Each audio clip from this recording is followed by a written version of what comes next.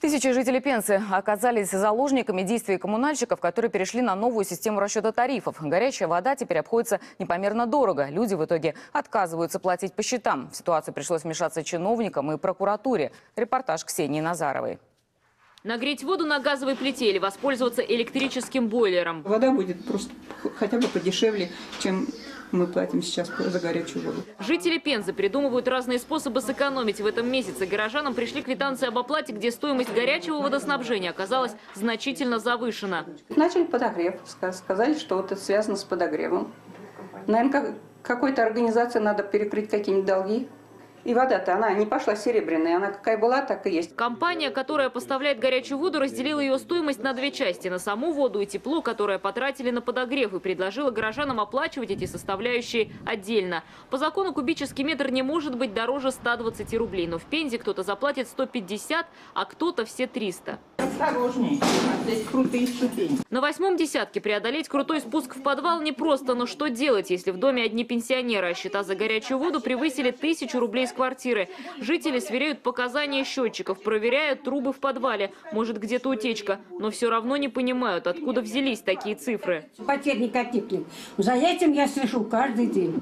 Каждый день так что, что нет такого у нас никогда. Жители 11 ТСЖ отказались платить по завышенным тарифам, и теперь их долги исчисляются сотнями тысяч рублей. Председатель жилищного кооператива Тамара Мельникова поясняет, другого выхода у них нет. Пенсионеры такие счета не потянут. У нас таких денег нету, чтобы оплатить такие суммы, чтобы вот э, за 321 рубль куб заплатить. У нас таких денег в кооперативе нет.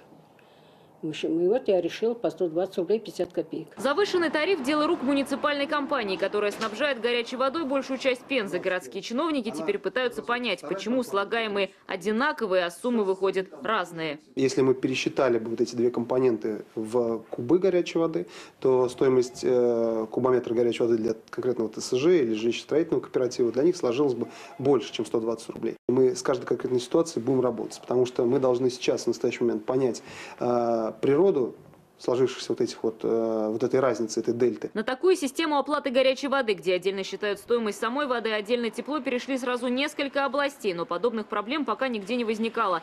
Пензенских коммунальщиков проверят прокуратура, антимонопольная служба и региональные власти. В Гостехжилстройинспекции уже пересчитали новые тарифы. Здесь уверены, допущена ошибка. Нет такой коммунальной услуги, как подогрев.